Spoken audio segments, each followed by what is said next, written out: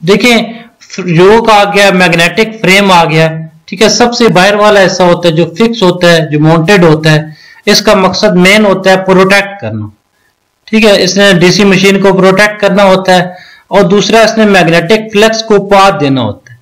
जब magnetic flux को path देना होता है तो उसको लो रिलेक्टस मटेरियल का बनाया जाता है, ठीक है? छोटी मोटरों में ये कास्ट आयरन का बनाया जाता है, जबकि बड़ी मोटरें जो होती है, उसमें स्टील का बनाया जाता है।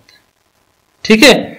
ये प्रोटेक्शन के साथ साथ दूसरा क्या काम करता है फ्लक्स को रास्ता देता है।